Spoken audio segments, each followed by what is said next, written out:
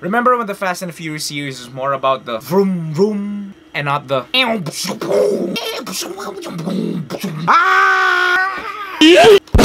We're way past that at this point. Hey, what's up, what's up guys? It's your boy Sky Cobres again and today, today, today I will be giving my very first movie review. And this movie is Hobbs and Shaw, the spin-off sequel to the Fast and Furious franchise.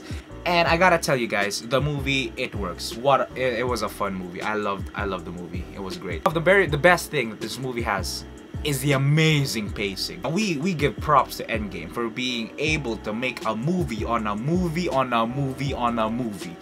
And Hobbs and Shaw did something like that. The three acts in itself are like three different movies. London, Moscow, Samoan Isles, and it just works. This movie does not take a break. There's just no time out to this movie. The pacing is absolutely great. You say what you want to say about the Fast and the Furious franchise, that it's forgotten what it was, that it was, it was a street racing movie and now it's lost its soul to like an over-the-top action series. But you can't deny that the Fast and Furious series is very, very entertaining. This movie is just super fun to watch. You can never get bored with this movie. Another thing about the movie is the undeniable chemistry between the two protagonists, Hobbs and Shaw. I mean, really, this is why we even have a movie in the first place. Because of the undeniable chemistry. The bromance is just truly there. It's what really carries this movie. You just love seeing Hobbs and Shaw just have this testosterone Super Bowl among each other that oh I'm gonna say one thing then you're gonna say something I'm gonna prove how badass I am then I'm gonna prove how badass I am blah, blah, blah, blah, blah. it was just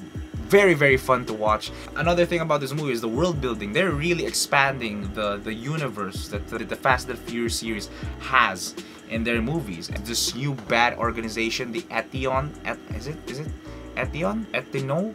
It starts with the letter E. Basically like this uh, human evolution thing, you know, that sort of stuff. Ultron stuff, you know, oh, humans got to evolve. They were they were said to be a myth, and then there this has been going on for since the last movie where like you remember where like oh Cypher I never knew she existed. She's a myth. Turns out she was real. And now you got Etio and it's like oh yeah I've heard of them you know? I thought they were a myth. And they're real. But the movie is telling you believe in myths I don't know if this will come as a spoiler alert. Ryan Reynolds and Kevin Hart are in this movie. And Kevin Hart is as Kevin Hart as you'd expect him to be. And Ryan Reynolds is as Deadpool as you'd expect him to be. They were just put on set and they weren't even given a script. They just talked. Every scene with them was hilarious. The villain, really, he really shines in this movie. Idris Elba, Heimdall himself, was great in this movie. He was laid back, he was funny, he was very cool. Oh my god. The trailer, you know, hyped him up as the Black Superman. He is the Black Superman. He is a beast. He is a tank. Certified unit. Remember when I said that Hobbs and Shaw's chemistry was great?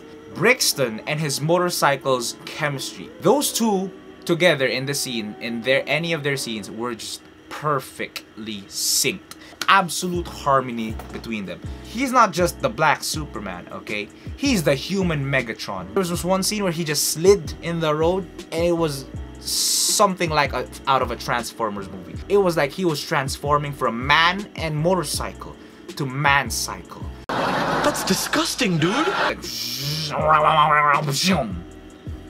Idris Elba.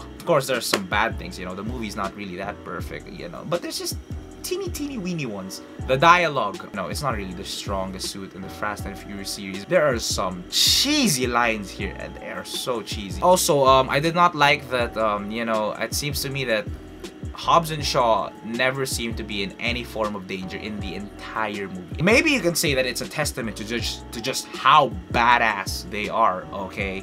But it it comes off as annoying sometimes of how easy everything seems to be for them. It's like imagine you playing with your bro and you it's just playing a campaign and it's on easy mode the whole time through.